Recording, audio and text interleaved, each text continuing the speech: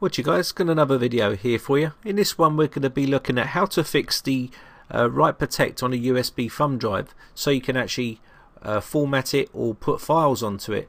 Now this is quite a common issue and uh, I'm going to show you uh, what I mean. So let's open up our uh, computer here and we can see we've got our thumb drive inside here and if I wanted to format this what's going to happen is it's not going to allow me to format it. So let's uh, say quick format and then there you go it will say write protected. This is quite common okay? So what happens if you want to add files to it? Well let's try and add this file here. I'm going to right click and send to. Uh, so we're going to send to and we'll go to our removable disk H. And again what happens is you get write protected. And you uh, can try again and try again and it just won't let you do anything with it okay? So what I'm going to do is show you how to fix this issue. So what you need to do is go into your registry going to come down to the bottom here, type reg edit.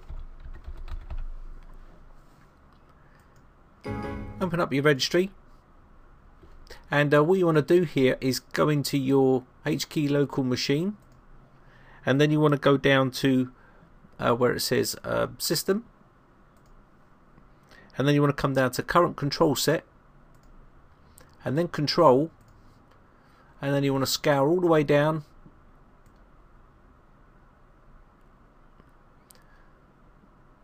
to where it says storage device uh, policies. That's the one you want to go into and you can see there is a write protect in here. What you need to do is uh, double click on this. This will open up and you want to change this to a zero. Click OK.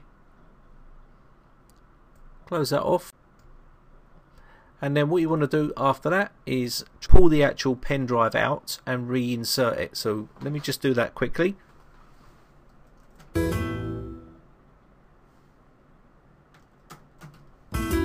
So there we go. I'm just going to push that back in now.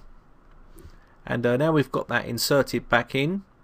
We should be able to right click on this now and format hopefully. If not we may need a reboot. So I'm just going to quickly try this reformat.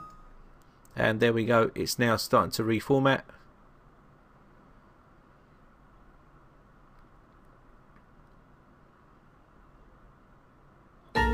and that's now complete as you can see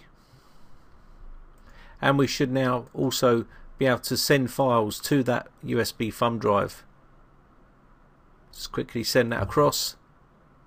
And there we can see our file is now working. So that's a quick fix for your write protected USB thumb drives. All you need to do is go into the registry and edit it there and you should be good to go.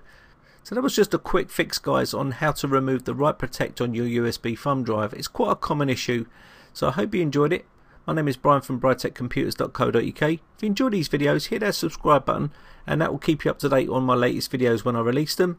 And uh, don't forget to like my videos if you uh, like them and uh, leave a comment if you've got any comments. And I'll be making more useful videos again in the future. So thanks again for watching guys. Bye for now.